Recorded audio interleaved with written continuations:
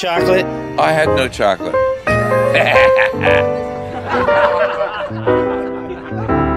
Did you have any chocolate, Jules? No?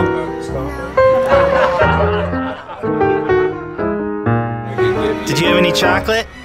You had chocolate, huh? It's falling apart. oh, where's his leg? Oh, there's his arm. His arm came off. There's his leg. His leg came off. There's his leg. Put his leg back on.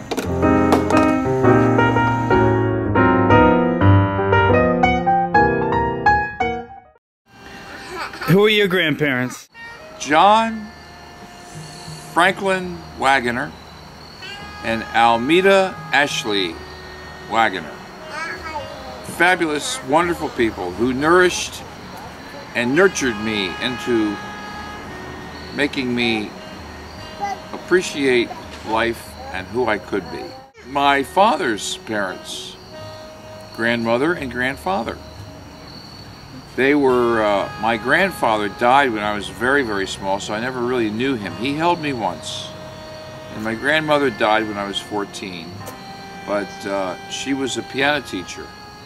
And uh, I'm sure that I got some of my appreciation for music from her. Eleanor and E. Woodley.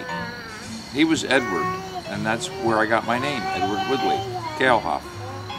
What did my grandparents teach you about how to be a grandparent? Oh, well, I think all of them,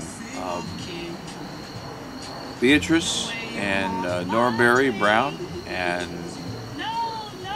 Dot Dot and E. Woodley Kalehoff all taught me how to nurture the children.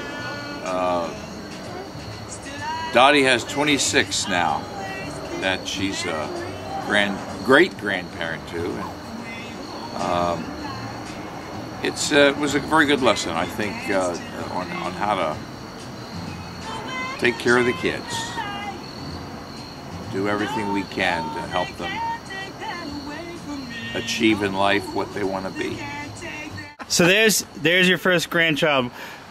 What did you think when you first became a grandparent? Oh, well, it's one of the best experiences to have the little shavers to share your life with.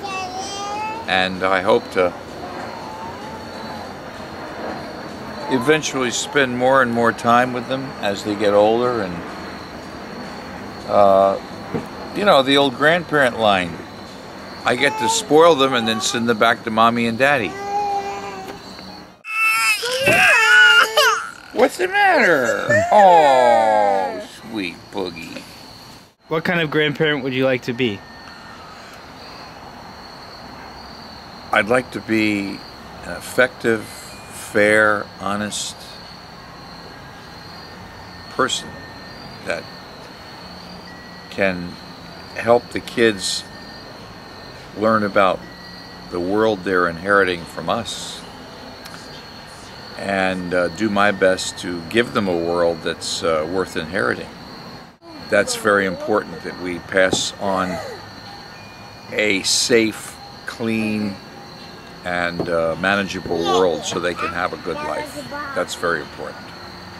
What would you like to do with your grandkids in your lifetime?